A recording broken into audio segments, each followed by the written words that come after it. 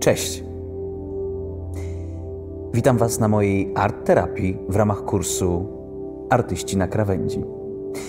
Ja mam na imię Zenon, ale proszę mówcie na mnie Zen. Jestem coachem artystów, celebrytów, biznesmenów, terapeutą i antydepresantem. Nie mylić oczywiście z antyperspirantem. Taki żart. I właśnie żart w dobie pandemii jest niezwykle potrzebny, ponieważ rozładowuje napięcie, oczyszcza atmosferę, ale musicie pamiętać, że taki żart może czasem również kogoś zranić. Szczególnie jeżeli depresja jest zbyt głęboka, a jest wyjątkowo głęboka, gdy mówimy o artystach bezrobotnych. Depresja dramatyczna jest dużo głębsza, bardziej tragiczna, bo do y, prawdziwego cierpienia dochodzi wymyślone, do realnego bezrobocia urojone. Pamiętajcie, że artysta jest zawsze w dwóch światach naraz, a teraz, kiedy reżim sanitarny zamknął wszystkie kina, teatry, opery, filharmonie, został tylko jeden. Straszne, okropne. Ale ja wiem, co czujecie. Wiem, jak wam pomóc.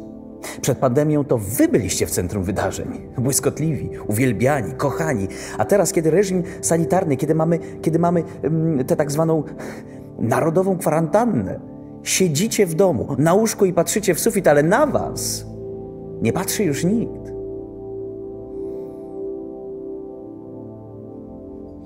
Kreatywność i poczucie humoru zaczęły się gwałtownie kurczyć. Właśnie dlatego Art Therapy, albo też Art Survival, to wsparcie dla wszystkich artystów, którzy w trakcie pandemii przeżywają koszmar izolacji. Cierpią na głód braw, kontaktów i bodźców. Dlatego siedząc w domu, podczas zwykłego dnia roznosi ich, albo mają nadmiar, jakieś tam niedostatki nastroju, prawda? Kreatywność i poczucie humoru zaczyna się kurczyć. Jednak pamiętajcie, że każda emocja, każda emocja jest jak najbardziej ok. Dlatego właśnie stworzyłem kurs Artyści na krawędzi. Pokażę Wam, jak przekuć depresję w ekspresję, nigdy agresję. Nauczę Was, jak z zatrutych strzał losu zbudować szałas. Nauczę Was, jak w trakcie pandemii radzić sobie z artyzmem. Artyzmem, który rozsadza Wasze mózgi, bo nie jesteście przyzwyczajeni do bycia zwykłymi ludźmi. Tak, nie widzicie tego, co się dzieje wokół Was. Nie zwracacie uwagi na taki kwiatek, na pająka, na okruch. Bez przerwy musicie coś dodawać, wyolbrzymiać, przesadzać. Wydaje wam się, że rywalizujecie z naturą, bo tworzycie kulturę, ale tak naprawdę rywalizujecie tylko i wyłącznie między sobą o to, kto zrobi coś dziwniej, kto lepiej, kto szybciej. I to niestety widać teraz w sieci, gdzie wrzucacie swoje koncerty, swoje spektakle, swoje standupy. A potem grząźniecie w tych wszystkich danych, informacjach i staracie się jeszcze bardziej, żeby ktoś po drugiej stronie szkiełka po prostu was pokochał. Takie zachowanie może doprowadzać do nałogów. Ciśnienie na artyzm wyzwala niepotrzebny naddatek. Kochani, nadmiar energii. Energii, dzięki której kiedyś byliście uwielbiani. Zarabialiście właśnie na tym, że mieliście tej energii za dużo. Wow! Taka kreatywność, tyle pomysłów. Ale teraz ten artyzm zabija was. Was, wasze związki i wasze rodziny, bo nie jesteście przyzwyczajeni do bycia sobą i ze sobą. Cisza! Bez przerwy musicie być kimś więcej.